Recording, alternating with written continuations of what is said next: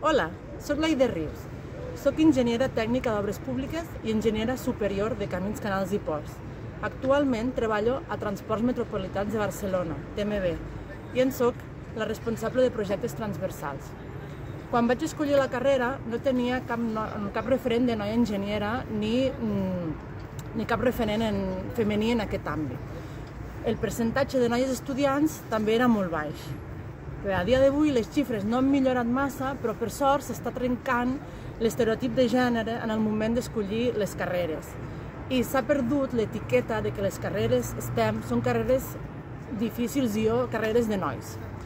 Aquesta poca visibilitat femenina es trasllada al món laboral, on després de 15 anys treballant en l'àmbit de la mobilitat i dels transports, he començat a tenir bons referents femenins.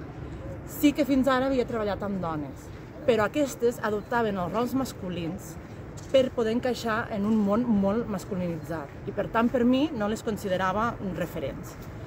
És necessari integrar el nostre talent, la nostra visió, les nostres capacitats i habilitats a tots els nivells en les entitats, empreses, organitzacions, per poder sumar i sobretot perquè tota persona es senti representada i senti que en forma part.